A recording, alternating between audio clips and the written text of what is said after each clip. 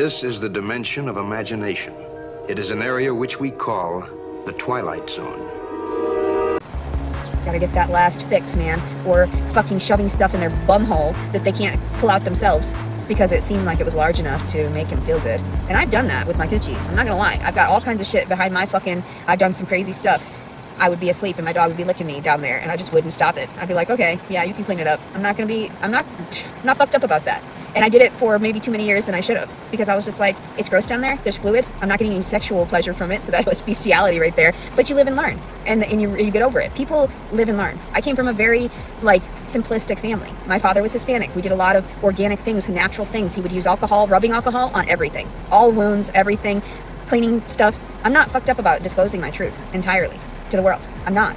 I mean, that's where people get that that embarrassment, try to hold it in within themselves, like, oh my God.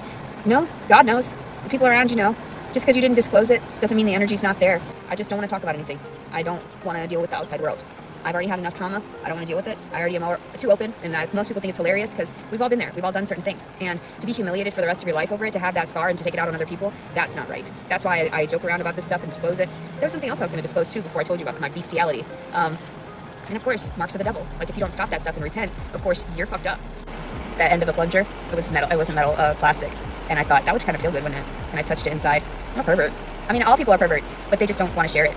They're like, well, with my fingers, or with my this or that, or and I used to use things like, um, and I still do to like this day if I have nothing around. Like I'll find like a bottle, like something in the shape of it, make sure it's washed off well, and I just stick it in there for a few minutes. It's not really a whole lot. I don't try to damage myself too much, but as long as it's like the shape of it, fuck it.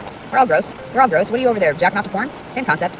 Um, sometimes I just like penetration. I would look up penetration porn a lot, and just to see it, you know, Im- imagine the times that I had it. So I was like, okay, I'm not that grotesque anymore. Years ago I was, and so a lot of people were. I'm 35 years old. I've lived through all this shit. I'm pretty sure I know. I'm just like, ugh. Some people, they don't understand. Like, you can be forgiven for some shit. I held it over my head for too long. I thought I had to be like everyone else. I don't have to be like anyone else. I have to be like myself. And when you traumatize someone to that extreme, and some woman, I don't mean to be so rude, but like, this woman just took away my child, and she was trying to compliment me and saying that I would be a good mother. But you literally just took away my child. Do you realize that I just ripped you ripped you apart in so many facets psychologically that you didn't even know?